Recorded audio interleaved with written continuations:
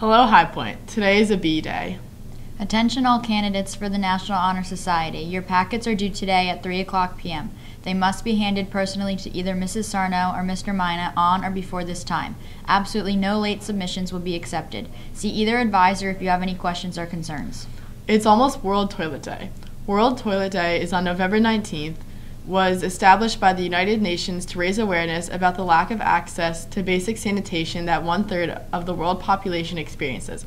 High Point is recognizing World Toilet Day the day of November 14th to 18th. Please consider making a donation to help solve this crisis. Look for our display in the lobby on November 17th and 18th. All donations will go to water.org, an organization focused on providing access to safe water in developing countries.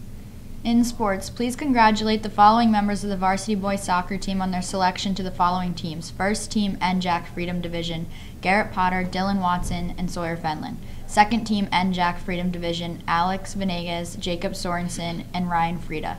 Honorable mention NJAC Freedom Division, Thomas Watts. First team All County Sussex, Garrett Potter, Sawyer Fenlon, and Dylan Watson. Please congratulate the following student athletes on the boys and girls cross country team on the selection of the following teams.